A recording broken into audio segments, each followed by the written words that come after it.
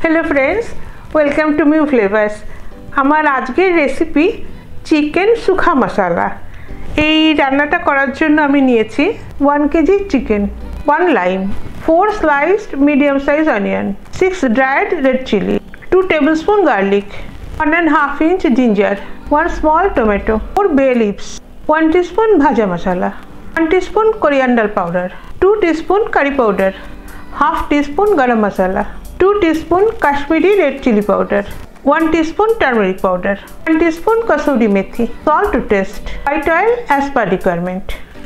এই চিকেন শুকা মশলাটা করার জন্য আমি প্রথমেই এই চিকেনটাকে ধুয়ে একটু শুকনো করে মুছে নিয়েছি। এখন আমি এর মধ্যে একটা লেবুর রস এর মধ্যে মাখিয়ে রাখব অ্যাজ ম্যারিনেশন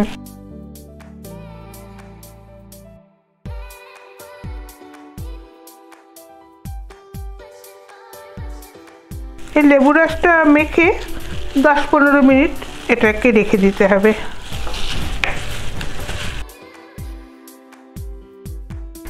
এই রান্নাটা করার জন্য আমি এই কয়েকটা ইনগ্রিডিয়েন্টস একসাথে মিক্সিতে একটু পেস্ট করে নেব। এই তেজপাতা, টমেটো, শুকনো লঙ্কা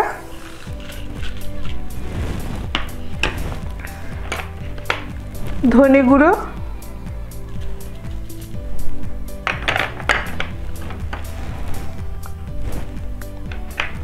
রসুন।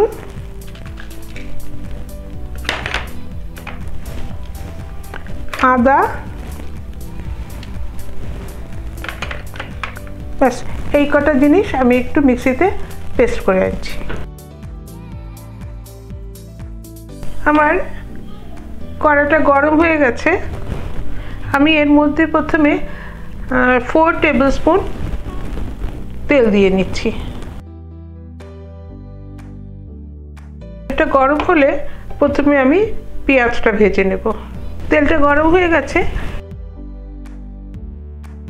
আমি প্রথমে এর মধ্যে পেঁয়াজটাকে দিয়ে দিচ্ছি।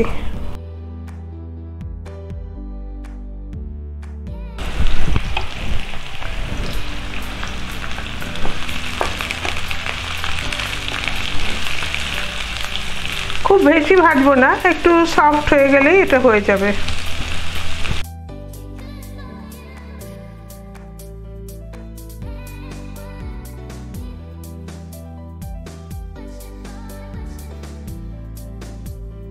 এই যে আজকে আমি রান্নাটা করছি, সেটা চিকেন সুখা মশলা। নামটাতেই বোঝা যাচ্ছে যে এটা একটা চিকেনের কোনো একটা ড্রাই প্রিপারেশন হবে।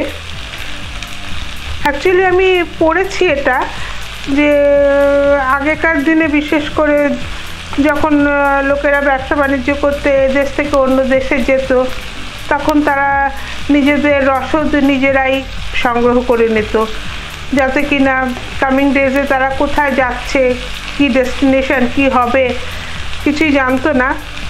নিজেদের খাবারটা নিজেরাই ক্যারি করতো। তখন তারা এই রকম ধরনের শুকনো শুকনো মাংস। অবশ্য তখন চিকেন ইউজ হতো না। তখন তারা ভেড়ার মাংস বেশি রান্না করে নিত। কিন্তু এইরকমভাবে যে একটা ড্রাই সব রকমই স্পাইসেস দিয়ে এটা একটু মশলাদার হয়, একটু স্পাইসটা বেশি ইউজ হয়, করে যাতে এটা কিনা স্টোর করে রাখা চলে। অন্তত সাত আট দিন, ঠান্ডার দিনে বা ঠান্ডার দেশে। সাত আট দিন এটা সংরক্ষণ করে রাখা চলে। এখনও অনেক পাহাড়ি জায়গায় অনেকে, যেখানে কিনা শীতকালে জ্বালানির অভাব হয়ে যায়, রান্না করতে অসুবিধা হয়, তখন তারাও মাংস সেখানেও চিকেন করে না, তারাও ভেড়ার মাংস বা উটের মাংস, যেভাবে, যে মাংসই হোক, সেইভাবে তারা রান্না করে। রান্না করে এরকম মানে সামনের দিনগুলো যাতে একটু নিশ্চিন্তে কাটে, সেই জন্য ওরা স্টোর স্টোর করে রাখে। আরেকটা কথা বলি, এই রান্নাটা একটু লার্জ স্কেলে করলে ভালো হয়। কারণ তাহলে কি মাংস রান্না তো একটা মাংসের থেকে আরেকটা মাংসের মধ্যে হিটটা ট্রান্সফার হয়ে যায়, সেদ্ধটা তাড়াতাড়ি হয় আর সুন্দর হয়। বন্ধুরা, আমাদের এই চ্যানেলটিকে যদি আপনাদের পছন্দ হয় তাহলে পাশে থাকা সাবস্ক্রাইব বাটনটা ক্লিক করুন আর অল নোটিফিকেশান বাটনটাও ক্লিক করুন যাতে আমাদের সব এক্সক্লুসিভ কন্টেন্ট আপনারা সবার আগে দেখতে পান। এই রেসিপিটা ভালো লাগলে এতে একটা লাইক দিয়ে দেবেন আর বন্ধুবান্ধবদের সাথে শেয়ার করুন, কমেন্ট করুন। আমরা আপনাদের প্রতিটি কমেন্ট পড়ব আর ভ্যালু করব আপনাদের আন্তরিকতা। পেঁয়াজ ভাজাটা হয়ে গেছে।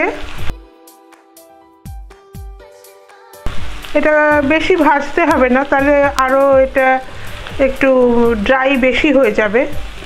একটু কালারটা চেঞ্জ হওয়া পর্যন্ত হয়ে গেছে। আমি এরপরে এই যে সব মশলাটা একসঙ্গে করে যেটা তৈরি করে নিলাম, এই মশলাটা এর মধ্যে দিয়ে একটু সাঁতলে নেব।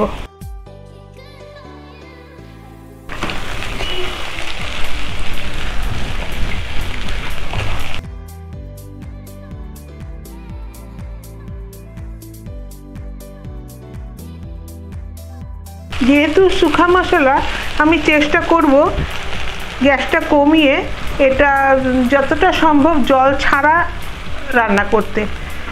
আর যদি দেখি একান্তই দরকার হচ্ছে জল, তাহলে দু এক চামচ জল দেবো, এর বেশি কিছু দেব না। দেখুন, তেল ছেড়ে এসছে, চারিদিক দিয়ে তেলটা দেখা যাচ্ছে মানে কি মশলাটা পুরো ভাজা হয়ে গেছে।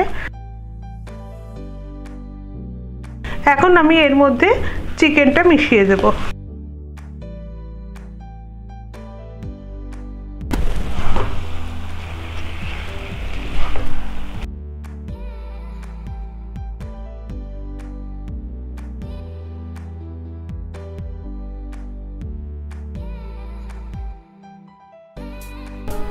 এই মশলাটা দিয়ে চিকেনটা পুরো মিলিয়ে দিলাম ভালো করে। এখন আমি এর মধ্যে নুন আর হলুদ আর কাশ্মীরি রেড চিলি পাউডার আর এই কারি পাউডারটা। এর মধ্যে মিশিয়ে একবারে মাংসটা আরেকটু কষিয়ে তারপরে আমি ঢাকা দিয়ে দেব।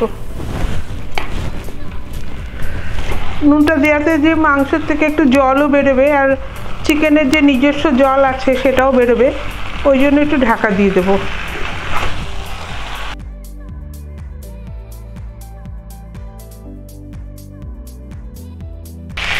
মিনিট দশেক এই মাংসের সঙ্গে চিকেনটা একটু ভাজা ভাজা করে নেব। দেখুন, এই মাংসগুলো আমি সব কটা পিস একবার করে উল্টে দিলাম, যাতে কি না দুটো পিঠই একটু ভাজা ভাজা মতন হয়ে যায়।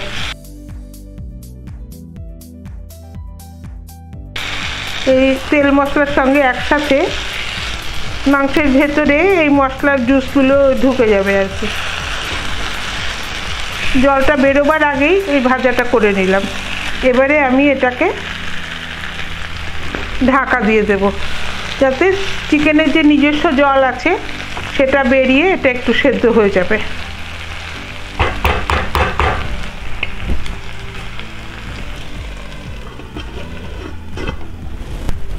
দেখুন দশ বারো মিনিট হয়ে গেল।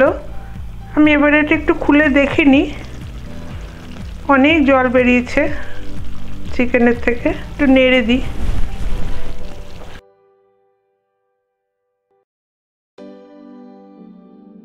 এই জলটা পুরো শুকিয়ে যাবে। অফকোর্স চিকেন সেদ্ধ হতে তো একটু জল লাগবে। আমি এর মধ্যে এখন এই মশলা দুটো দেব। প্রথমে আমি দেব এটার মধ্যে ভাজা মশলা। ভাজা মশলা মানে হচ্ছে জিরে আর শুকনো লঙ্কা, একটু ড্রাই রোস্ট করে নিয়ে তারপরে মিক্সিতে গুঁড়ো করা।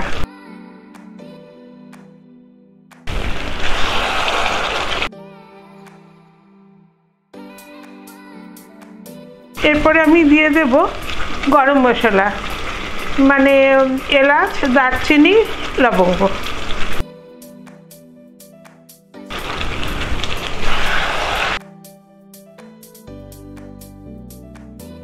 অ্যাকচুয়ালি এর মধ্যে একটু কালো গোলমরিচের গুঁড়ো দিলেও ভালো হয়, কিন্তু আমি ওটা যেহেতু আমি কারি পাউডারটা ইউজ করেছি, তো ওই জন্য আমি আর ওটা ইউজ করলাম না।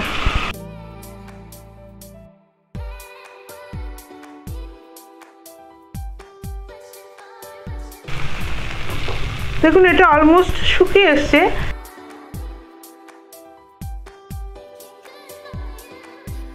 আমি এখন এই পজিশনে এর মধ্যে একটু কসুরি মেথিটা একটু গুঁড়ো করে দিয়ে নেব।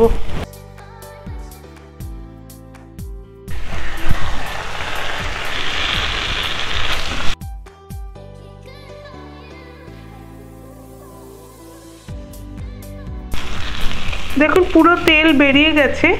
আর মাংসটা একটু দেখিয়ে দিই। মাংসটা একদম সুসিদ্ধ হয়ে গেছে।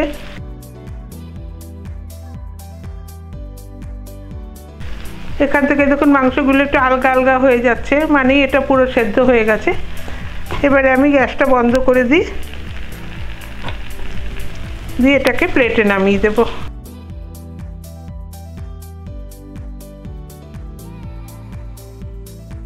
আমার চিকেন শুকা মশলা পুরো তৈরি হয়ে গেল। দেখুন রিয়েলি শুকাই হয়েছে, কারণ এটার মধ্যে থেকে এখন এক ফোঁটাও জল নেই বা এক ফোঁটাও জল ইউজিং হচ্ছে না। ঠিক এরকমই এই জিনিসটা তৈরি হবে। খেতে তো খুবই সুন্দর। আপনারা নান তন্দুর রুটি বা পরাটা এইসব দিয়ে খেতে পারেন। এইসব দিয়ে খেলে বেশি ভালো লাগবে। তৈরি করবেন বাড়িতে, খাবেন। Thank you